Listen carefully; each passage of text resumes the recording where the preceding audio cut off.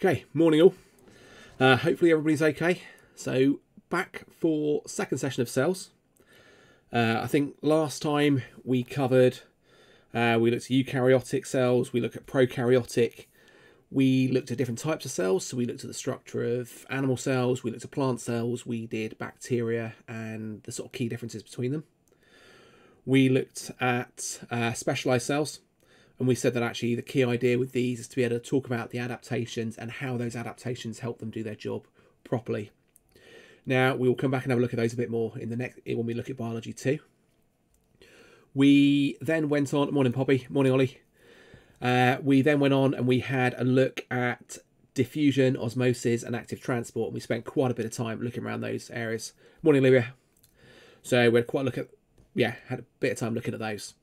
So the plan for today then is we're going to start off looking at microscopes. Morning, Mia. We're going to start off looking at microscopes, uh, how they're used, the different parts of them. We'll have a look at the sort of magnification of those as well. Morning, Amy. Um, we will then have a look. So I'm just having to look across at the screen because my notes are on the other one at the moment. Uh, we're going to have a look at cell division. So we'll talk about mitosis as well. We're going to talk about uh, aseptic testing, so ways of actually sampling and dealing with uh, microorganisms, I suppose, and staying safe. Uh, it was one of the jobs I used to do years ago before I became a teacher. God, it seems almost in a different life now, but when I used to work in the brewery, so aseptic testing techniques, and one of the other required practicals that comes up in triple is in that, so we'll have a talk about that as well. Um, and then we'll come on to stem cells, what they are, how they're used, um, some of the issues around them, um, and there's some quite cool sort of medical developments with those at the moment. So it's still quite new technology. So let's make a start. Uh, let's actually go for blue. So typical microscope, um, I suppose, probably more advanced than some of the ones you've seen at school. Uh, we've got two eyepieces on this one rather than one, but we've got our eyepieces here. Um, the eye lens is quite important because one of the magnification types actually comes into the eyepiece lens here as well. So I think the ones we have at school are about times four for that. Morning, Ben. We've got the objective lens.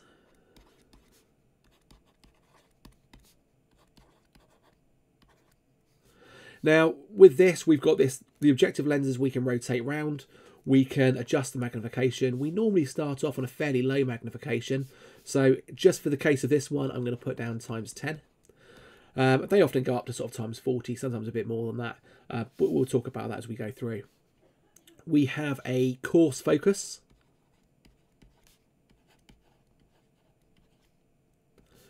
And we have a fine focus. Oh, that's a U, honest. We got a lamp or a light source. Let's just put light source in there. This is the stage. Uh, we have clips. The handle is here. so those are the main sort of types, uh, or sorry, the main parts of this. Now, when we're using these, as I already said, we start off with the lowest objective lens possible. Um, this, in this case, will give a magnification of times 40. So if we wanted to work out the magnification here, and this will be the sort of total mag, then actually what we'd be doing is multiplying the eyepiece, or the eye lens, uh, to the objective. So we've got 4 times 10, so our total magnification is going to be times 40. So whatever we look at through the eyepiece on the microscope will have times 40. So the clips here are to hold the slides in. So we should know we've got our glass slides. We will generally want to put our sample on there. And our sample's normally going to be very, very thin. Now, some microscopes will actually give a top-down light as well, or we can use a lamp. The ones that we generally use, because we want to try and have a uh, look through the cells, look inside the cells, they shine the light up through. So if our samples are too thick, then actually the light doesn't go through, so we can't see anything. So we want them to be very, very thin. We will then have a cover slip that goes on top. And we will often sometimes put a dye on there. And there's different dyes we use depending on the type of sample uh, and depends on the organelles that we want to be shown up. So we'll often dye things um, just to make it more visible when we actually look at, through the microscope. so those will go onto the stage. We'll hold them in place with a clip. Sometimes, some microscopes like this one here, and I'll just do a little arrow here, they're quite cool because rather than having to try and move the uh, slide around manually, we can actually use those to move the position of the stage or to move the slide on the stage uh, to try and find what we want to. So it's a lot more accurate than trying to use our fingers, which sometimes get uh, a little bit clumsy. So we will, when we're using the microscope, what we generally do is we wind the coarse focus up without looking through the eyepiece. So the stage is as high as possible. And we bring this up so the slide is almost touching the objective lens.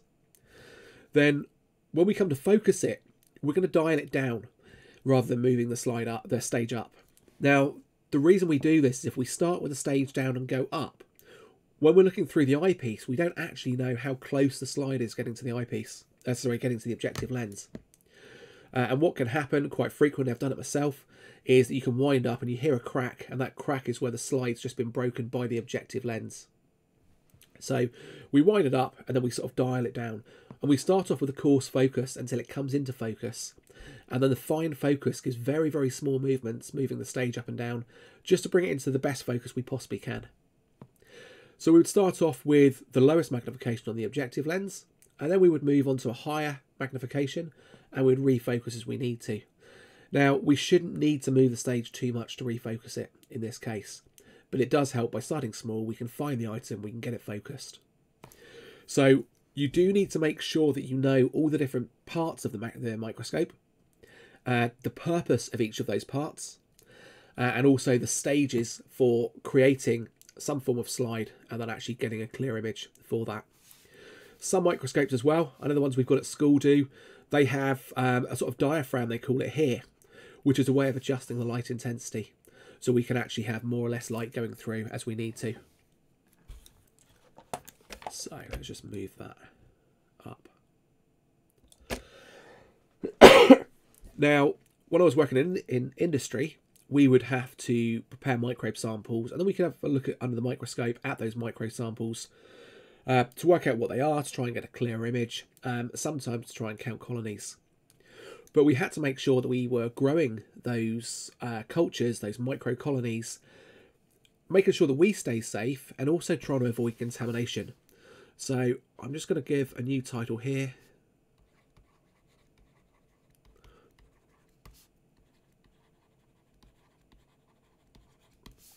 Now, sterility is really, really important. We, if I, can drop a picture in quite quickly with this one. Just drop that in here for a minute. Trying to get a sample is actually quite simple. We will generally have some form of agar, and agar is just a jelly that contains nutrients. And bacteria are fairly easy to grow, really. I mean, in fact, a lot of the microorganisms, not just bacteria, we can grow fairly quickly, fairly easily if we have some form of jelly. Now, this doesn't work for viruses because viruses, uh, viruses need a host cell in order for them to grow. But if we're looking at yeast, if we're looking at fungi, if we're looking at bacteria, then all we really need is some form of jelly with the correct nutrients in. Uh, they will be a sort of moist uh, surface.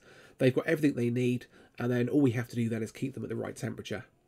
Now, when we're preparing our agar, we will boil it up to make sure that everything inside it is killed, so there are no microorganisms alive. We will pour it into sterile Petri dishes. So these plastic dishes, these are our Petri dishes. So when we're doing this, everything we're doing is kept as sterile as possible. The inoculating loop, this is just a piece of wire. It's often nichrome, um, but it's just a piece of wire that we can use. And then obviously we've got our bacterial solution here. This isn't sterile, otherwise there'd be no bacteria living. Uh, sounds obvious, hopefully, but I know um, I have seen people in questions make sure that everything is sterile, including this. Nothing would grow at that point. So in this case, this would be a case that would be us sampling um, a sample that's already got the bacteria we know. Now, when I was working in the food industry, we would have to sample everything. So if we've just cleaned tanks, we'd want to make sure the tanks were clean to make sure there was no bacteria, um, no other pathogens, no other microorganisms that could compete with the yeast uh, in the beer products we we're making. We would also have to make sure that all the production lines were uncontaminated um, and everything was being cleaned to a purpose. So in that case, we wouldn't use the inoculating loop. We would go around, we would have special swabs, uh, and we would have, uh, in some cases, it would be a very, very fine filter, I suppose, that you would be able to run a liquid through and that would be able to collect any of the microorganisms in there. And that would do the same thing, and then we could drop that on top of the agar dish, and they would actually grow onto the filter in that case. But all of these samples are going to be kept sterile. Sterilising the inoculating loop's really easy. We just pass it through a flame. So I've got another picture I'm going to drop in. All of these pictures are straight from the AQA exam board. So they're all ones that have been in previous exams. so, sorry, I'm going to drink.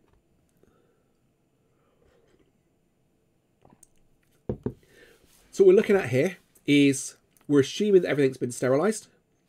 The inoculating loop has been passed through a flame to make sure that's sterile.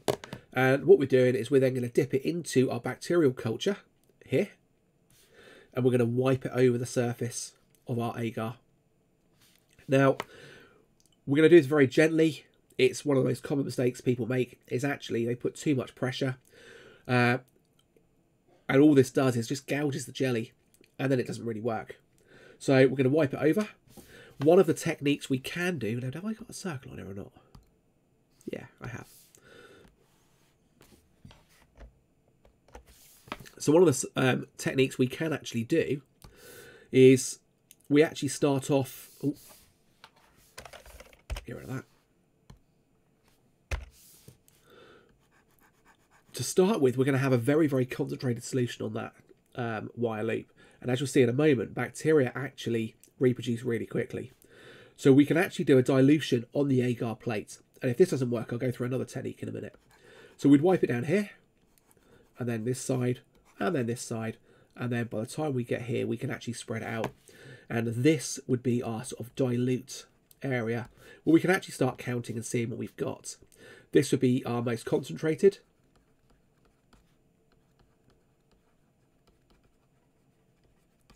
And each time that we're doing it, we're wiping more and more off, so we're actually diluting our sample onto the agar plate. So hopefully that sort of makes sense. And then we can go through and we can count them. And I'll go to a bit more about counting them in a moment. So just double check my notes. Yeah, when we're looking here, we've got this adhesive tape here. Now, I know those I've taught hopefully will remember some of this. Notice that this tape goes um, sort of top to bottom. It doesn't go all the way round. Now, it's really important we don't do this because what we don't want to do is seal off all of the air, all of the oxygen getting in um, from our container because a lot of the bacteria, they will produce, they become quite toxic and will only sort of reproduce and produce those toxins under anaerobic conditions. So we know that ourselves, if we start respiration anaerobically, we start producing lactic acid. We know that yeasts, um, they will produce alcohol. Some of the other bacteria produce some really nasty toxins. So in order to stay safe, we only put the tape top to bottom. We don't go all the way around. That's to make sure that oxygen can still get into the Petri dish. Now, what I would then be doing with this one is I'd be storing upside down.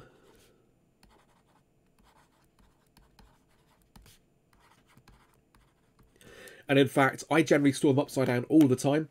Uh, and then when I want to take my sample, I will literally lift it off. I'll wipe the sample and I'll put it back onto the lid again. And that's to avoid contamination further. So if there is Yeah, spot on, Olivia. Absolutely spot on. Uh, it is the one that we leave upside down. Now, the reason we leave it upside down is to avoid any contamination. Anything that drops into the lid uh, isn't then going to land on the jelly because actually gravity is going to keep keep hopefully the contaminants down. So it just avoids contamination. Putting some tape on is quite useful. Um, when I've worked before with this one, I have seen someone manage to trip and throw an entire tray full of samples over the floor. Lids go everywhere. So we want to try and make sure that we do tape it. And also what we'll do is we will write what the sample is and the date on the bottom of it. So if the lid did come off, we still can identify that particular sample. In schools, our next step after this would be to incubate. And that just means it's put into, I'm going to say an oven. We're not looking at an oven to try and uh, cook it. We're actually looking at an oven just to try and help it grow. And in schools, this would be at 25 degrees Celsius. In industry, it's generally hotter. So if we're looking at in, in industry, we would incubate anywhere between 35 and 40.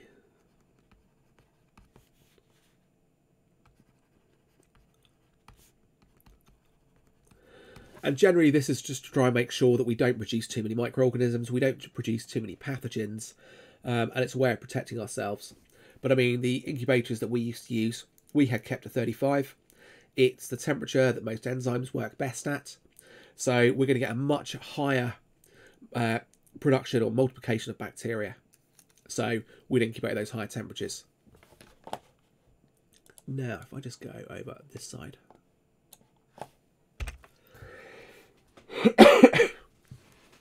so once we've got our sample,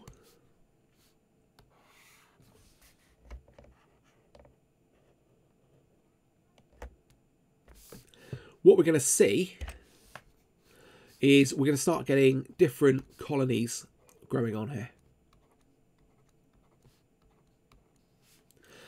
Now, what you might find if you've done the dilution on here is actually your initial colonies in a lot of these areas is too much to count. And there's loads on there. But hopefully we're going to get an area that's a bit more dilute. And what we can actually do is we can sort of section off our Petri dish. Um, sometimes we'll put them on top of a grid, so we'll actually have a grid underneath as well. And we can actually work out the area this is in. So we're not going to be able to work out the true value in the original sample because we don't know what our dilution is at this case, but it does give us an area of what's in there. Now, if we actually wanted to find out the population within a particular sample of liquid, what we would probably have to do is do a serial dilution of that sample. If we found out that actually there was too much bacteria for us to count, then we would do what they call a serial dilution. So if we had some containers,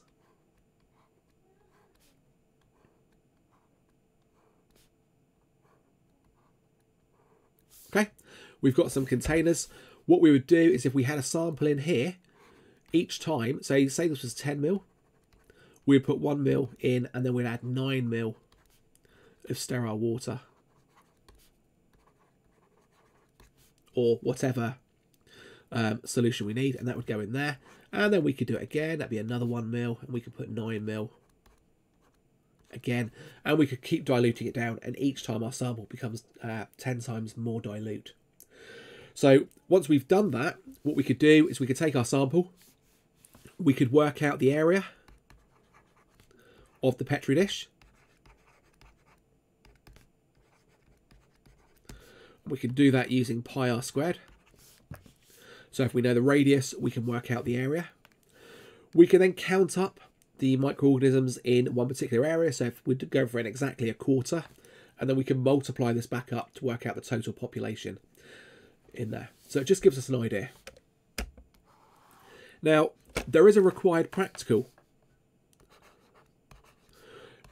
And the required practical uses antibiotics. I have seen uh, the same required practical completed, not just with antibiotics, but when we're looking at soaps as well. So we can use the sort of same idea. So although this is required practical, the exam board, it's quite likely if this came up in an exam that they would look at tweaking it, they would look at changing it and trying to get you to apply your knowledge.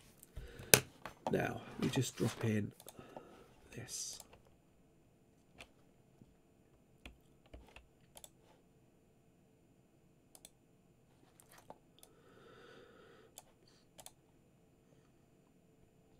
So what they've done in this case is rather than having a sterile agar plate, what they've done is they've started off with the agar sterile, but then they've inoculated it with the bacteria. So the bacteria is already living in the agar, but it hasn't been incubated yet, so it hasn't started multiplying too fast. What they've then done is they've taken these each one of these discs is either a disinfectant or an antibiotic, depending on the practical. So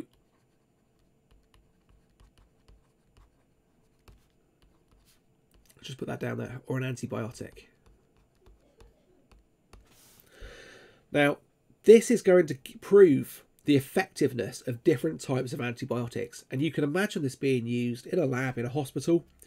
If somebody has come in with certain symptoms and they want to find out which antibiotic is going to be best for treating the infection, realistically, you could take some of that bacteria, you could swab it, you could grow it in some agar, and then you could put a disc containing different types of antibiotics onto the agar, and you could look at which one's going to be the most effective for treating that infection. And what you find is in this case, this one here is going to be the most effective. Okay, and we can see that because actually it's got the biggest area around it where there's no bacteria that's living. So the bigger the area around the disc, and the discs are all the same size, they'll have the same concentration of each antibiotic. Um, but the area around it that doesn't have bacteria is going to prove to us how effective that antibiotic is and help us hopefully select the correct one.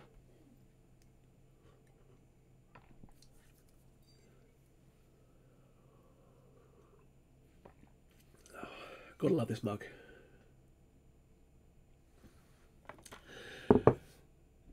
Brilliant. Right, bacterial growth. One of the things that comes up, bacteria multiply roughly every 20 minutes under ideal conditions. So the numbers become huge very, very, very fast.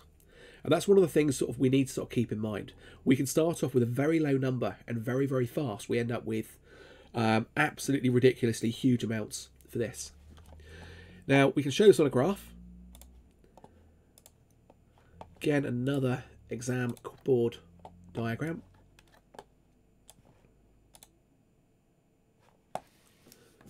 So we can show this on a graph. Note this is log 10. So we are looking at massive numbers very, very fast, going from a very, very small amount down here in very few number of hours. Now, the year 11s had a graph like this uh, fairly recently. The a lot of them were struggling to see what was going on. They were trying to talk about the the numbers, and that's absolutely fine if that's what the question was after. What they wanted to know is why do they have these changes? So what you notice to start with is we've got this area here with sort of very, very slow growth. So the multiplication rate is very low. Uh, we've just put it in. They're going to start reproducing a little bit slower to start with. They've got to get used to, the, or they get used, they've got to start absorbing those nutrients, will the diffusion happen? They've got to get to the same temperature. They're basically getting used to their environment. Then very, very quickly, we start getting this sort of exponential growth. We start getting this growth here. So the rate increases.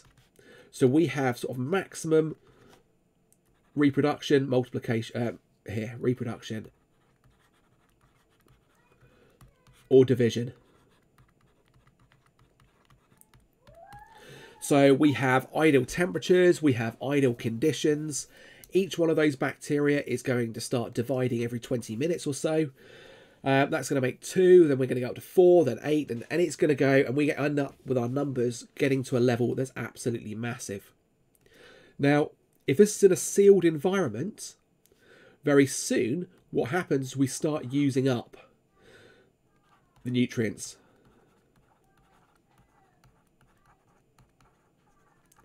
So we're using up the nutrients, and on top of that, we get a build-up of toxins.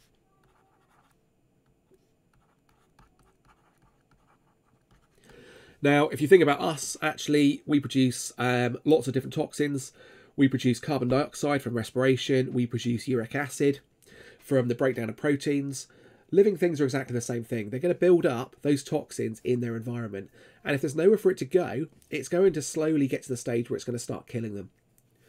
So we're not, our reproduction rate becomes effectively zero and they're going to start dying. Eventually, this will decrease, but we're now not producing anymore. So at the moment, this is live, but I would expect this number to start decreasing after this because they have no nutrients left to feed on and the toxins that are built up are going to start killing them as well. We can see a very similar graph, obviously with different numbers, if we look at animals in the wild and plants, because actually, ideal conditions, we get maximum reproduction rates. Uh, but eventually, the amount of nutrients, the competition for that is going to start, the competition is going to go up, the nutrients or the food's going to go down. If they're in a closed environment, we could have a toxin build up as well, but usually it's just a lack of food and those populations are going to go down. So this wouldn't just be for bacteria. But if you had a question like this, you need to start thinking about what's going to cause the graph to give this shape, not just describing the shape, depending on what the question's asking for. Right. Let's go on to slightly different topic.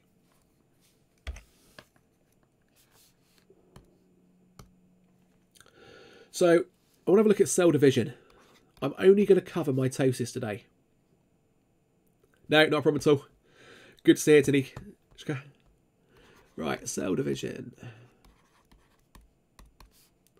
So I'm only going to look at mitosis now.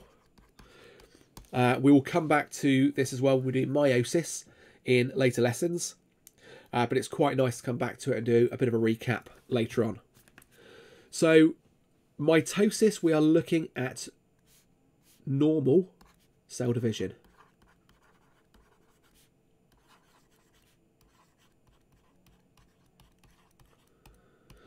So I often try to think of use the T here for tissue. So we're looking at growth and repair. Because of this, we want all the daughter cells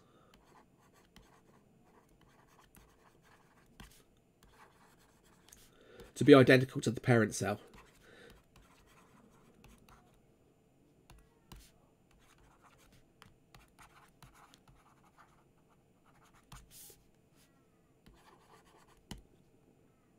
Okay.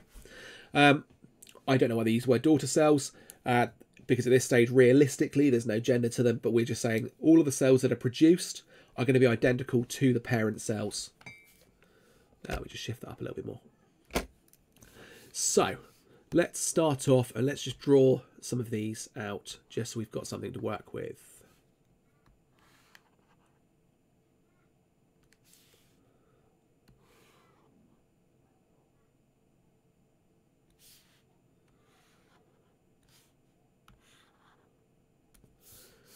Right. So let's say, for instance, and we'll keep this fairly simple to start with.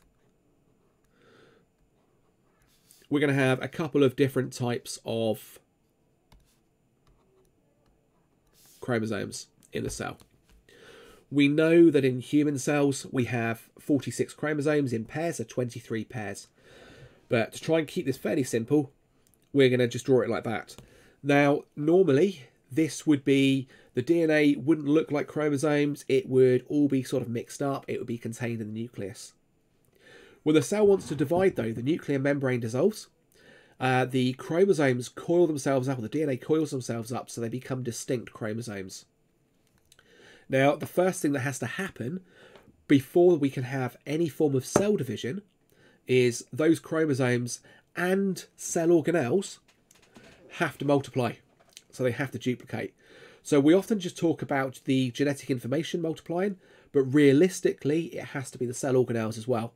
Because if we didn't, we'd end up with less and less mitochondria and ribosomes and everything else that makes up the cell that we went through last lesson, and there wouldn't be enough to go on by the time we got through a few cell divisions. So everything's going to reproduce at the same time. So we're going to end up with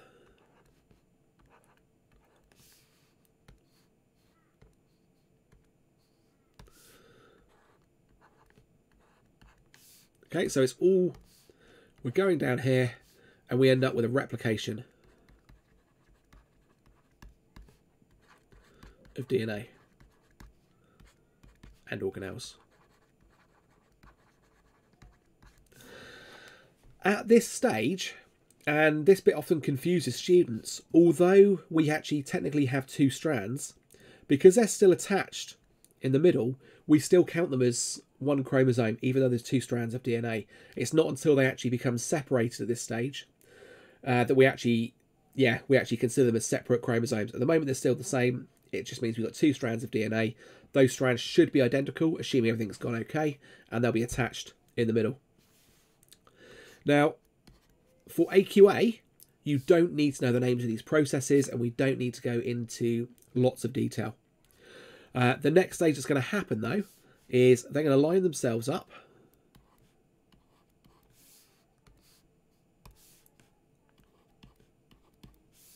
Down the centre of the cell.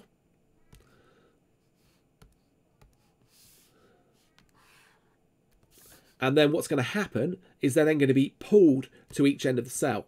Now, again, at GCSE, you don't need to worry too much about this. But what we actually end up happening is we have these sort of microfilaments, which um, they appear from sort of each end of the cell. They attach themselves to the center of those chromosomes. And they start to pull. And as they pull, what you end up with is the chromosome... Oh, hang on. Get rid of that back to that one. The chromosomes. Sorry, that's better. Uh, the chromosomes themselves, they get pulled to each end of the cell. Now, these are separate chromosomes now. They're no longer attached to each other, so we can call them separate chromosomes. And they're getting pulled to each end of the cell. And the cell itself is going to start cleaving in the middle. So we would actually end up with this cell would start cleaving here. And it's going to start forming uh, another cell. Uh, sorry, two separate cells. So this then is going to divide. So let me just draw that in as well.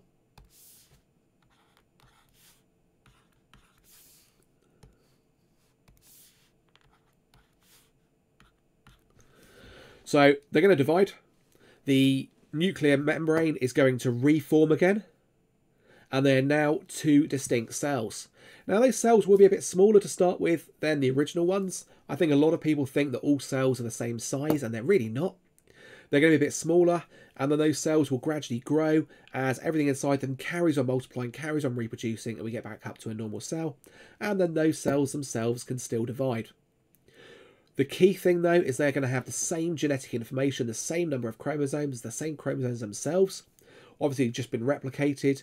Then the parent cell. And we're going to end up with two daughter cells for every one parent cell. And there's a key difference there between that and meiosis. So it's really important we get our heads around this. This is normal tissue production. This is not the production of sex cells. This is just growth and repair. It is you guys getting bigger, growing, um, building more muscles, more tissue samples. It is when you cut yourself and your body has to repair it. Um, it is when you do some exercise and you start breaking down the muscles and you start using the muscles hard and your body has to build new muscle tissue. So it is that normal growth and repair, which is why the daughter cells have to be identical to the parent cell. It's really, really important you get your heads around that and we make sure that's um, completely sort of uh, I suppose locked in stone. In the exam, if there is any doubt at all, because mitosis and meiosis are very close together in terms of the way they sound, and parts of the processes are quite similar at GCSE. If there is any doubt at all as to which one you mean, you won't get the mark for it. Okay, so it's really important you're very clear in your understanding. Um, yeah, in your understanding and the way you write that. So if you've got any questions on that, do put it in the comments box. I'm more than happy to go back through any part of it.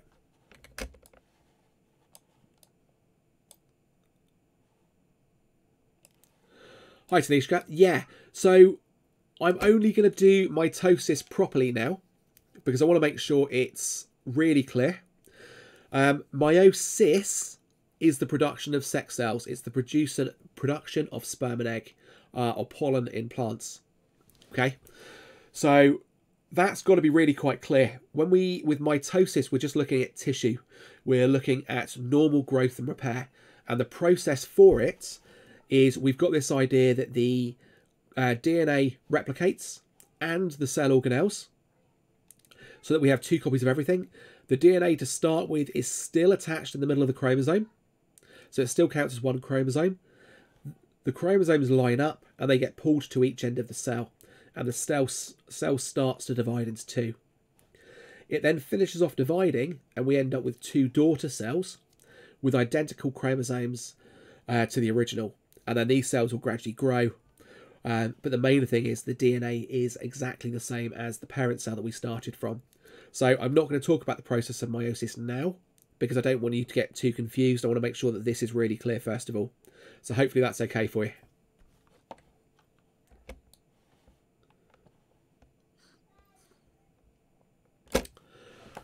Stem cells then. Uh, just done all that. Yeah, that's cool. So,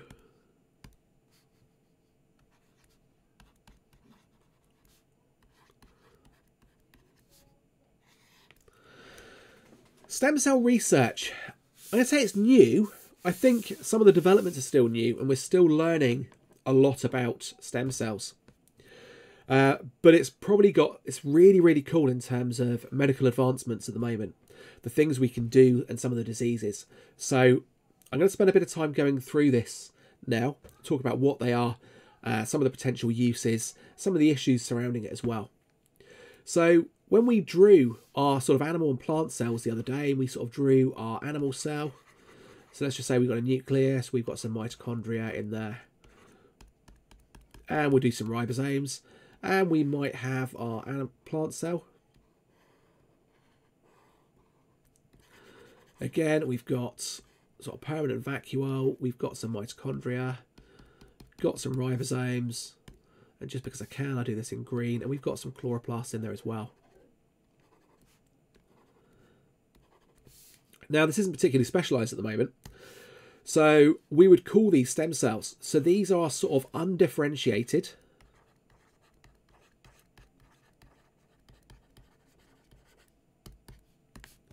Or our stem cells. Okay? They have the ability to differentiate, to adapt, to turn into specialised cells, to turn into other types of cells. And that's where the sort of key use comes in. So I'm just going to start off with plant cells, which I think is the one that's possibly overlooked quite a lot. I know when I'm teaching, it's one of those, if I'm not really careful, I tend to miss, and it's really important we don't, because actually the use of plant stem cells is actually really key still. So when we're looking at plants, the stem cells in plants, oh, I didn't done two S's. The stem cells in plants we call hang on, we've got the stem cells in plants we call meristems. Now, generally we are looking at root tips. We are looking at the shoots. Uh, and we're also looking at the cells found between the xylem and the phloem.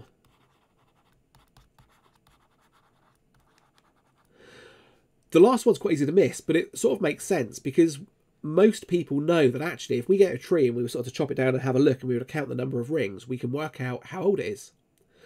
So therefore, although we know that plants are growing upwards, they're also growing outwards. So there's got to be new tissue growth going outwards as well. So we've got these main types of meristem cells. Now, in plants, actually there isn't much reason not to collect meristem cells because we can take cuttings, we can plant them, we can grow new plants, we can harvest the cells individually, we can put them into different compounds and we can grow them. And actually, with plants, it's really useful to be able to clone the plant itself.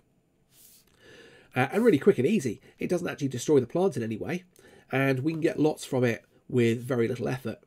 So cloning is quite useful because actually, if we had rare species, uh, we could very quickly grow hundreds, if not thousands, of new ones from the meristem cells because we only need a few cells in order to clone it and grow a new species. If we had um, species that might have had, let's just say one of them is particularly disease resistant. Now, if we had a disease that was prolific in one particular area and we knew we could get some of those plants that were already disease resistant, we could grow lots of them very, very, very fast and then put them into that area so quite useful from that point of view. So I just want to make sure that we've got everything down there. Yeah. So plants is really quite easy. The we don't need to worry too much about growing bits of the plant like we would in humans and with animals, but it does mean that we can grow new plants. Now, if we're looking at animals, I'm going to put humans down here as well. I know we are an animal, but that's just to make, just to clarify. Just move that up. There we go. Realistically, when we're talking about ourselves, there are sort of two main types. We will start off with embryonic.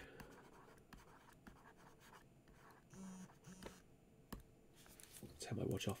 Hopefully the vibra you can't hear the vibration too much. Right, so we've got embryonic stem cells. So this is cells taken from an early stage embryo. Now, that embryo can be made from cells from the person. We can sort of clone. Uh, but the problem is it's going to destroy that embryo. Now, there are some issues ethically and religious for some people with this. Technically, that embryo has been grown for this purpose. It is not alive at that point. Technically. Some people would argue, though, that if the embryo was allowed to carry on, then it would become a living thing. So, therefore, by taking those cells, by pulling them apart, we are destroying that embryo. Now, it doesn't matter at this stage what you believe. What's really important is that you can argue both cases or all the different arguments for this one, put it across a coherent argument, and then be able to give your viewpoint as well. But if you only come up with a one-sided argument, for instance, if you were very of the firm belief that we shouldn't be doing this because we're killing an embryo, and that was the only argument you could give, you'd be limiting yourself to, um, in any sort of extended answer question. So we need to make sure that we can appreciate both sides of the argument for that. So we're looking at cells from an early stage embryo. Now we know that actually this embryo is formed when we have the sort of sperm plus the egg. They combine to form a zygote, which is the name of that first cell. And then it's going to start multiplying to become an embryo. At that stage, it is a bundle of cells and all the cells look identical. There is absolutely zero specialization. But that bundle of cells is going to keep multiplying and it's going to start becoming specialized. So different cells are going to become specialized in different ways depending on the tissue type. And if you think about all of the different cells and tissues that makes up your body, all of those would have come from an embryo. So the embryonic stem cells are the most useful. In other words, they can differentiate into the most number of, or the biggest different number of different types of cells. So we'll just put differentiate the greatest or the, the most. Okay, so they're going to multiply the most. Uh, really, really useful from that point of view. Also, if the embryonic stem cells are taken or produced from that person, there's no chance of rejection because your body is going to think about them as being their own. So we're not going to reject them in any way, shape, or form. So we massively, massively useful we've got these cells that we can turn into pretty much anything else once we know how. And that's a big thing. We still don't know how to turn them into all different types of cells. We're getting better at it. but we're we've got a long way to go, so we still need to do a lot of research on this. Uh, there's no chance of rejection if we were to produce some different tissue types, and I'll come back to the uses in a moment. But we are killing that embryo at that point. We're pulling the cells apart. Um, so for some people, there is an ethical, there is a religious um, issue there because are we killing a life form? And that's a point that you need to be able to argue. We can then take adult stem cells. So adult stem cells, for instance, can be taken from bone marrow. Now, this is quite useful because actually we can produce red blood cells quite quick and easy from bone marrow stem cells. We can take stem cells from other parts of the body, but they're much harder to get. We generally collect them in lower amounts, so we've got lower numbers. Um, they're harder, can be painful. Um, collection of bone marrow in particular, you've got to drill into the bone, you've got to extract the bone marrow, it can be quite painful. Now, they're also, they are limited into the number of types of cells they can turn into. So, for instance, we're looking at bone marrow, we've got red blood cells, we've got a few others, but it's not as useful as the embryonic. But on the plus side, we're not killing an embryo to get them. Now, that's got to be quite clear because actually we can get them quite easy. The adult can give consent. We're not killing anyone. Um, we can get them. We can harvest them. We can extract them. Yeah, it's going to hurt. Uh, they're not as useful, but we haven't got that embryo that's been destroyed. Or we can we can do the embryonic ones. Uh, very easy to get hold of. Very easy to make. Massively useful. Can get huge amounts of cells, but we've got to kill the embryo. So it's one of those sort of ethical dilemmas that it's worth considering and making sure that you can talk about both sides of the argument when it comes to that. So, let's just move this down here somewhere. So we start looking at the uses then. We can grow new tissue types so we can look at replacing new tissue, new organs eventually. Uh, we can't quite get to organs yet, as far as I'm aware of. I'll do a bit more research on that one. But we can grow basically different tissue types. We can grow nerves. We can grow um, skin cells. We can grow red blood cells. So very uh, quite quickly, we can actually come up with these different tissue types. So some of the things they're looking at using at the moment, we are looking at diabetes. We're looking at paralysis.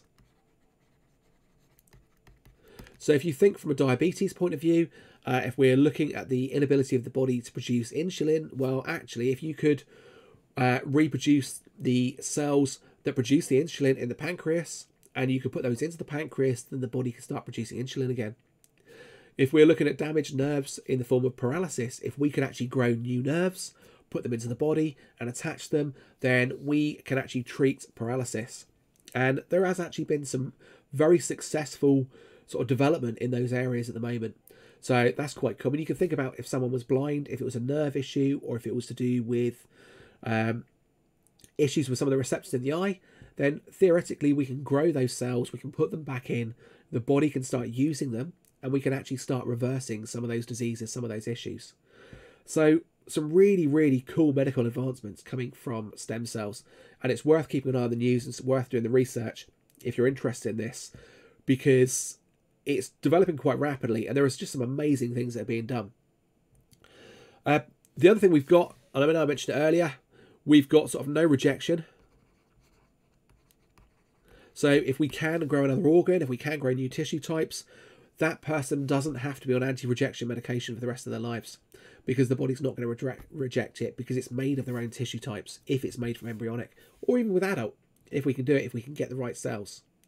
So very quite very useful from that point of view. There is one other issue though. Now this i haven't seen this come up in exams before but that generally means it probably will at some point.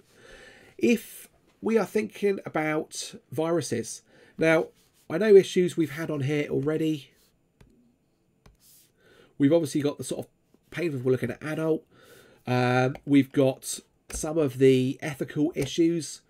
Uh, where are we looking at? Yeah, some ethical issues up there. I'm not going to scroll the way back up there. But if we think about viruses for a minute, quite topical at the moment, viruses. We know that viruses live inside cells. They are not a living thing in themselves, they're sort of parasitic. They live inside cells, they use the cell's normal organize, um, organelle structures to reproduce themselves, and they multiply inside a cell. And then when that cell uh, is full, they burst open, and those viruses will then basically spread to other cells. So one of the things we have to be careful of is that actually, if we take stem, some stem cells and we start reproducing it, we need to make sure there's no viruses in that cell to start with. Because if there is, as we let those cells replicate, we're going to be replicating the viruses with them. So there is a potential here for virus transfer. So when we're doing our screening, we need to make sure that actually we have screened them to make sure there actually, there are actually no viruses inside them at all. So quite an important one, and it's one that I hadn't even considered until uh, the other day when I was sort of putting some bits and pieces together for this one. But actually, yeah, it makes quite a lot of sense. Any questions on any of that?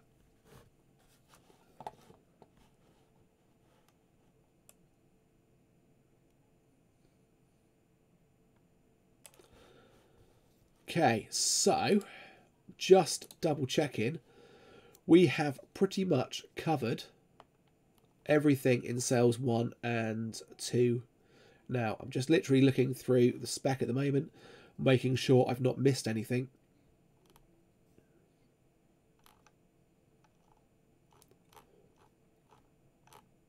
But no. Sorry. So,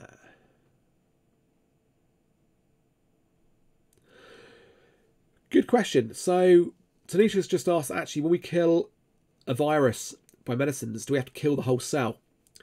Not always.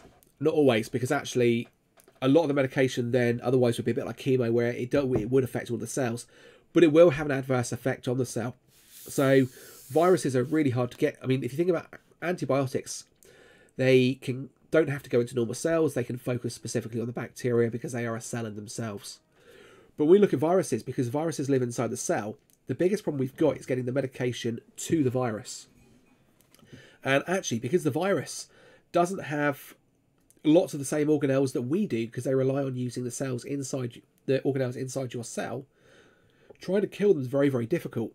Now, I don't know if you've had a look at uh, the I don't so the news that Southampton University have been they've been doing quite a lot of work based on the coronavirus recently. Funnily enough, uh, one of the areas is produ- producing lots more sort of protective equipment for doctors and nurses and frontline workers. But they've also been looking at different medical trials, and one of the they've had some success, and I don't know how far this has gone at the moment, but they've had some success using interferon, which is like an anti-AIDS treatment. Now, that's been proving very, very effective to treat the coronavirus, which sort of makes sense. I mean, don't get me wrong, I couldn't tell you the ins and outs of how this works, but they are both viruses. So there's been some development on that one, and I think what we will find is as we look into more and more of the sort of virus treatments, I'm not necessarily sure whether it kills the virus or just alleviates the symptoms.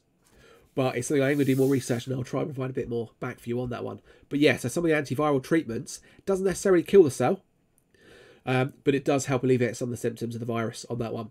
But it's worth doing a bit, bit of research into that. Brilliant. Right. I know we've got about six minutes to go. I've pretty much covered all of that. So Friday, I'm going to go back through and have a look at the second half of Waves. I'm particularly going to focus on the triple content though, because there's some areas in there that are a bit more complicated that I want to make sure we finish to wrap that up. Uh, and then after that, I think I'll probably do chemistry one because I'm not done a chemistry topic yet. So it'd be quite nice to go through and do the chemistry one, so atomic structure and looking at the periodic table as well. Hopefully that's been of use to you guys, and hopefully you are all doing well, staying inside, staying safe. Uh, any questions, drop me an email, drop me a note on Google Classroom, and let me know how I can help. Take care.